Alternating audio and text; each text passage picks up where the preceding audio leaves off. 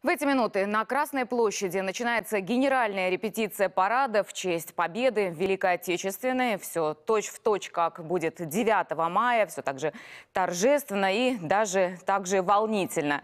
И вот сейчас мы получаем кадры прямой трансляции. На ваших экранах Красная площадь. У стен Кремля выстроились пешие военные колонны. Сейчас мы слышим бой курантов. Параде в этом году примут участие 10 тысяч солдат и офицеров. Позади больше месяца тренировок и дневных, и ночных при любой погоде. И вот сегодня последняя, самая главная репетиция. Колонны замерли, парадные расчеты, как еще их называют, коробки. Все сделано для того, чтобы в день праздника все прошло безупречно.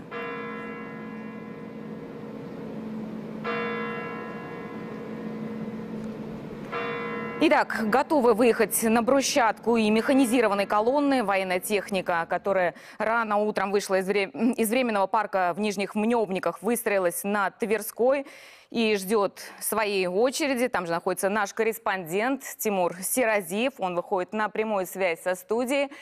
Итак, Тимур, что у вас сейчас происходит?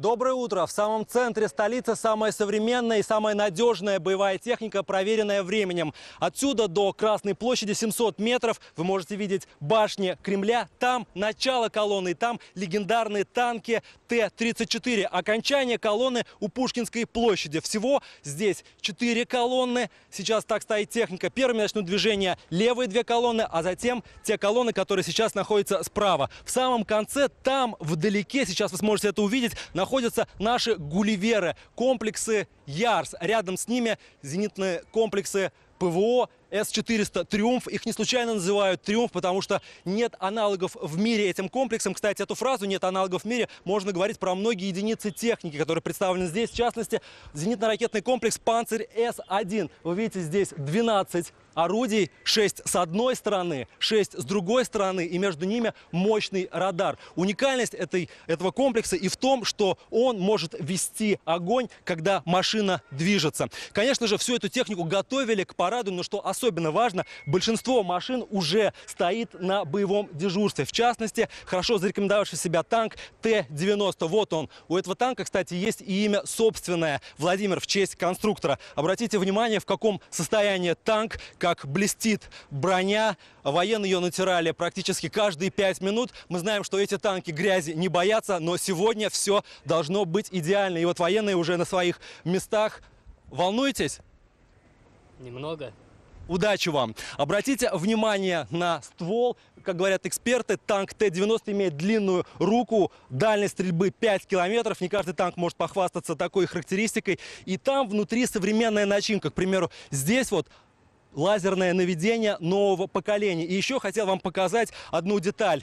Это гусеницы, на них установлены специальные резиновые накладки. Про это, в принципе, многие знают. Тем не менее, посмотрите, в каком состоянии эти резиновые накладки. Они уже стерлись за время репетиций, и они здесь для того, чтобы а, асфальт не портился. Но техника действительно тяжелая, и все-таки следы на самом асфальте дорожном покрытии остаются. После 9 мая придется Тверскую все-таки обновлять. И сейчас уже все готово к началу репетиции. Эта техника шла отсюда, как вы правильно сказали, с окраины Москвы. И мы вместе с этой техникой проехались, чтобы вы, наши зрители, могли видеть то, что обычно остается за кадром.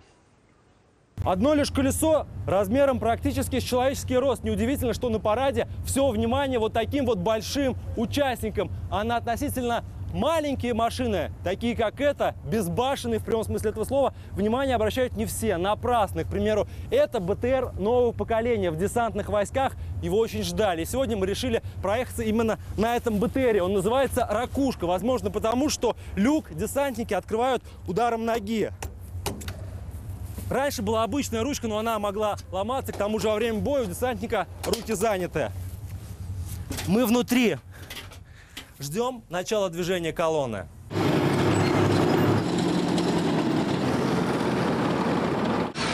Колонна в движении. скорость 15 км в час. И у нас с вами есть возможность разглядеть в подробностях этот БТР.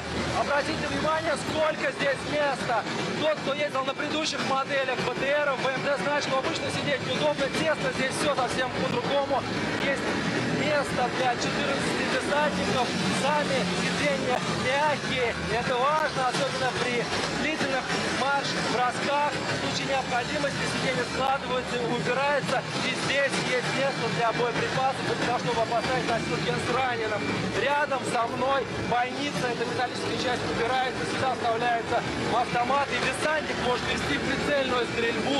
Он смотрит за тем, что происходит снаружи. Вот через это окно оно устроено по принципу перископа. Еще одна важная деталь. В ракушке всегда свежий воздух, когда люки задраены. Здесь действует система очистки воздуха. И, конечно, десантники лучше меня знают о достоинствах этой машины.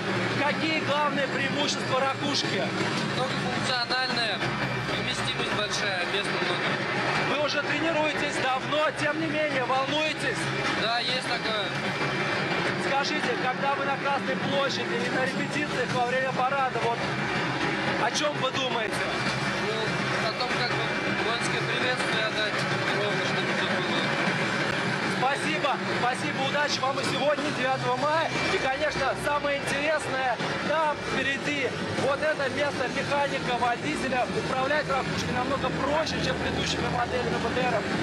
Педали, газ и тормоз, коробка полуавтомат, вместо руля штурвал. И, конечно, как во всех современных машинах есть бортовой компьютер. Этот бортовой компьютер может в случае необходимости заглушить двигатель. Сейчас же здесь вся необходимая информация о движении. Рядом командир, он же стрелок. Там наверху два пулемета. Один из них разворачивается на 360 градусов.